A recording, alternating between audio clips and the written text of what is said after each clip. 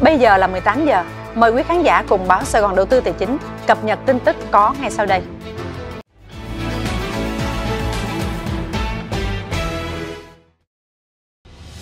Theo dự báo lúc 6 giờ sáng nay theo giờ địa phương của cơ quan khí tượng Nhật Bản GMA, áp thấp nhiệt đới ở ngoài khơi Philippines mạnh lên thành bão Trami.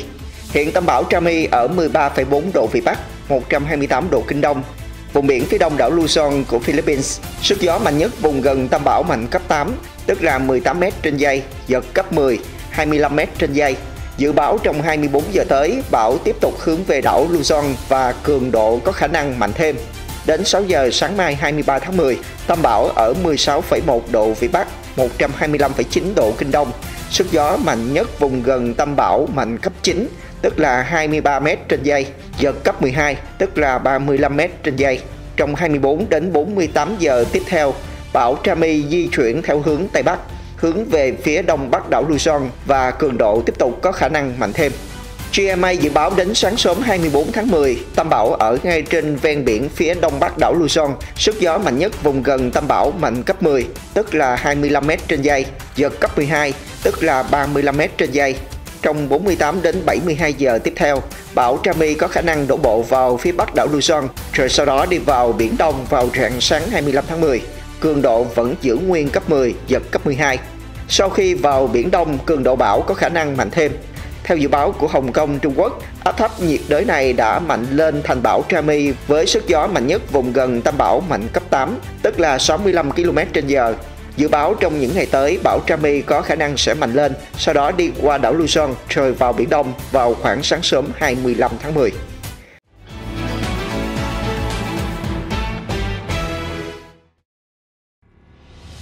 Chiều nay, Ủy ban nhân dân thành phố Hồ Chí Minh đã tổ chức họp báo công bố quyết định số 79 trên 2024 trên QĐ UBND của Ủy ban nhân dân thành phố Hồ Chí Minh về sửa đổi bổ sung quyết định số 02 quy định về bảng giá đất trên địa bàn. So với dự thảo hồi tháng 7, giá đất ở có 4.299 tuyến đường đã được giảm xuống, 160 tuyến giữ nguyên và 98 đường tăng thêm. Tuy nhiên, nhìn chung mức giá ở quyết định này giảm 20 đến 25% so với dự thảo và tăng từ 4 đến 38 lần so với quyết định 02 chưa nhân hệ số K tùy vị trí. Ở bảng giá này, mức thấp nhất là 2,3 triệu đồng một mét vuông thuộc khu dân cư Thiện Liền, huyện Cần Giờ cao nhất là 687,2 triệu đồng ở các đường Đồng Khởi, Lê Lợi, Nguyễn Huệ, quận 1. Các tuyến đường thuộc quận 1, quận 5, quận 10 có mức giảm khiêm tốn từ 1 đến 10% so với dự thảo trước và cao hơn từ 0,8 đến 1,4 lần bản giá của quyết định 02. Các quận còn lại như quận 3, quận 6, quận 8, quận 7, Phú Nhuận, Tân Bình, Tân Phú, Bình Thạnh mức điều chỉnh giảm trung bình 16 đến 23%. Quận 4 điều chỉnh giảm mạnh nhất, bình quân 19 đến 35% nhưng vẫn cao hơn giá cũ 1,2 đến 4 lần. Tuy nhiên tại thành phố Thủ Đức và năm huyện ngoại thành, nhiều tuyến đường từng bị phản ứng tăng khủng trong dự thảo tháng 7, lần này giảm khá mạnh.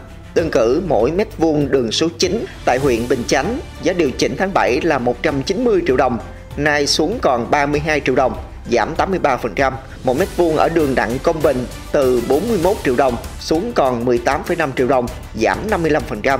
Mỗi mét vuông đường sông Hành quốc lộ 22 từ 71 triệu đồng xuống còn 32 triệu đồng, giảm 55%.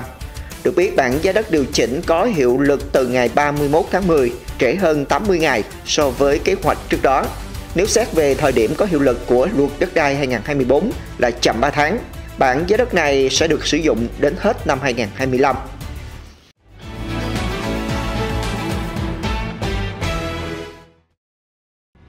Sáng 22 tháng 10, giá bán vàng miếng ra thị trường tại các thương hiệu lớn đồng loạt lên 89 triệu đồng mỗi lượng sau khi Ngân hàng Nhà nước tăng giá bán can thiệp thêm 1 triệu đồng.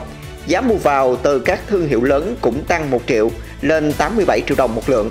Từ chiều qua đến sáng nay, giá nhẫn trơn cũng được các thương hiệu liên tục nâng lên mức kỷ lục mới. Công ty vàng bạc đá quý Sài Gòn SJC niêm yết giá mua nhẫn trơn 85 triệu đồng một lượng và bán ra 86,4 triệu đồng một lượng, tăng 200.000 đồng so với cuối ngày hôm qua. Công ty vàng bạc đá quý Phú Nhuận mua nhẫn trơn 85,8 triệu đồng một lượng và bán ra 86,75 triệu đồng một lượng. Đặc biệt, giá vàng nhẫn tại Phú Quý được đẩy lên mức 86,2 triệu đồng một lượng giá mua vào và bán ra ở mức 87,3 triệu đồng một lượng, tăng 200.000 đồng ở chiều mua và 300.000 đồng ở chiều bán. Đây là một kỷ lục mới của giá vàng nhẫn. Như vậy, trong một tuần gần đây, mỗi lượng nhẫn trơn đã tăng khoảng 3,5 triệu đồng, còn vàng miếng tăng 4 triệu đồng.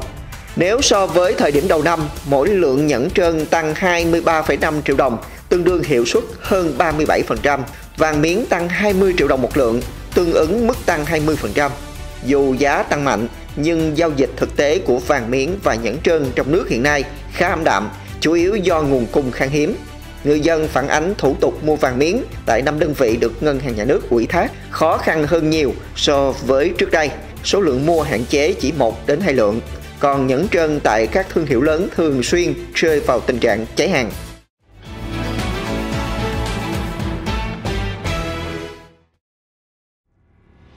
Bộ Giáo dục và Đào tạo đã yêu cầu các trường đại học liên quan khẩn trương thu hồi văn bằng đã cấp cho ông Vương Tấn Việt, tức Thượng tọa Thích Chân Quang, do phát hiện bằng tốt nghiệp cấp 3 của ông này không hợp pháp.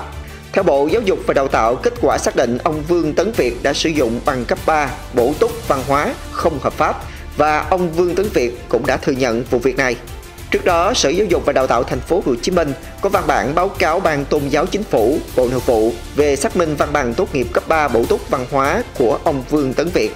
Theo kết quả ra soát hồ sơ, ông Vương Tấn Việt không có tên trong danh sách dự thi và bản ghi tên ghi điểm trong kỳ thi tốt nghiệp bổ túc văn hóa cấp 3 vào năm 1989 của Sở Giáo dục và Đào tạo thành phố Hồ Chí Minh, không có tên trong danh sách cấp bằng tốt nghiệp cấp 3 bổ túc văn hóa khóa ngày 6 tháng 6 năm 1989 của Sở Giáo dục và Đào tạo thành phố Hồ Chí Minh.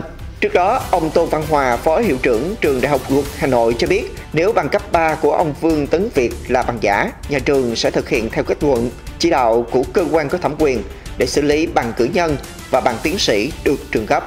Trong báo cáo gửi Bộ Giáo dục và Đào tạo, Trường Đại học Luật Hà Nội khẳng định việc cấp bằng cho ông Vương Tấn Việt là tuân thủ đúng quy định.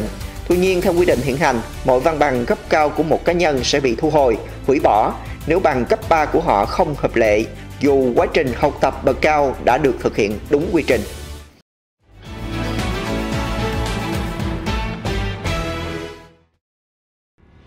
Các nguồn tin từ Hamas cho biết nhóm có thể do Ủy ban 5 người lãnh đạo thay vì chọn thủ lĩnh mới kế nhiệm sau khi hai người đứng đầu liên tiếp bị hạ sát.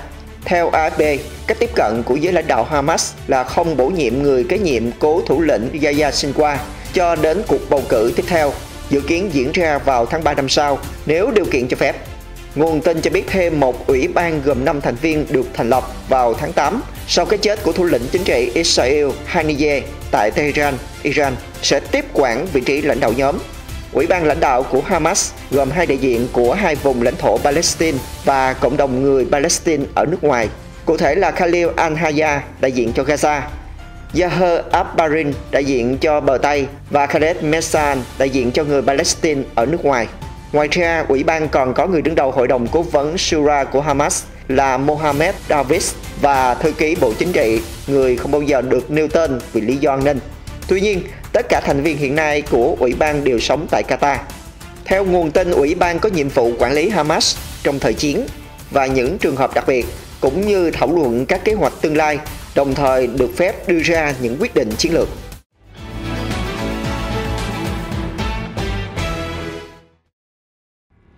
Video do Lữ đoàn cơ giới độc lập số 47 Ukraine công bố ngày 21 tháng 10 cho thấy xe tăng chủ lực Abrams và xe chiến đấu bộ binh Bradley đã nã pháo vào hàng loạt căn nhà ở một ngôi làng tại tỉnh Kursk của Nga. Đây là lần đầu tiên xe tăng Abrams xuất hiện tại tỉnh Kursk kể từ khi Ukraine phát động chiến dịch tấn công vào đất Nga hồi tháng 8. Chưa rõ mục tiêu cụ thể của cuộc tấn công, nhưng không có dấu hiệu nào cho thấy thiết giáp Ukraine hứng hỏa lực trả đũa của Nga. Trang tin Rusvesna của Nga cho biết trận đánh diễn ra ở làng Novoy Vanovska, nơi xe tăng Nga từng hạ thiết giáp M2 Bradley của lữ đoàn 47. Cũng theo trang tin này, quân đội Ukraine phải gấp rút điều động xe tăng Abrams và xe chiến đấu bộ binh Bradley từ mặt trận Borovsk thuộc tỉnh Donetsk đến Kursk. Kể từ khi mở chiến dịch tấn công tại Kursk, Nga đã điều hàng loạt xe tăng chủ lực Challenger 2 và Leopard 2 hiện đại nhất tới mặt trận này. lực lượng Nga phá hủy một số chiếc Leopard 2, trong khi ít nhất một xe tăng Challenger 2 đã bị tập kích và nổ bay tháp pháo. Mỹ đã chuyển tổng cộng 31 xe tăng Abrams cho Ukraine, đủ trang bị cho một tiểu đoàn thiết giáp. Ukraine từng tuyên bố mẫu xe tăng có giá 10 triệu đô la Mỹ của Mỹ sẽ là vũ khí quan trọng để giúp họ chọc thủng phòng tuyến đối phương. Tuy nhiên, lực lượng xe tăng này hứng chịu nhiều thiệt hại dù chỉ triển khai hạn chế, không tham gia các chiến dịch đột kích hiệp đồng như học huyết quân sự của NATO.